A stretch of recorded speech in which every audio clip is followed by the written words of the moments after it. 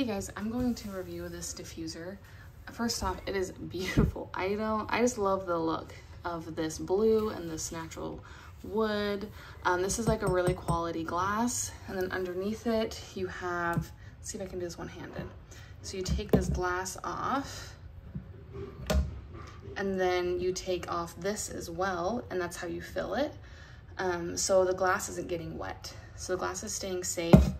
And then in order to use it, you have your three buttons down here, which is your mister, your power, and your light. So power turns it on. Um, and you have your light here. And you have a bunch of different colors that you can cycle through.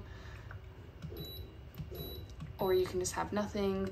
And then your power, if you push it once, it's just a continuous low diffuse. If you push it a second time, then it's 30 seconds on, 30 seconds off. And then if you push it a third time, it just turns it off altogether.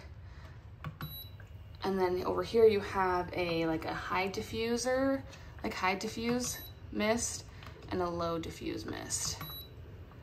Um, so you can kind of change the settings of the mist. And if you're on the lowest setting of mist diffusing and you're on the intermittent diffuse, this can last up to 15 hours.